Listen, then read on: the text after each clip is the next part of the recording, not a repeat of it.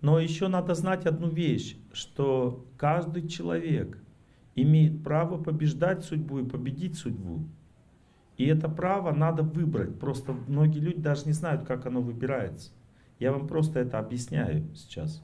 Что нельзя думать о том, что все было плохо. Это не выбор победы, это выбор поражения. Выбор победы простой. Решила, что ты делаешь что-то не так, или решил, сделал в прошлом что-то не так.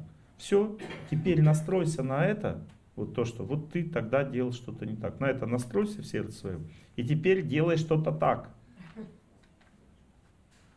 То есть начни действовать правильно сейчас по отношению к другим людям. Не думай о том, что ты не так сделал и о том, что было.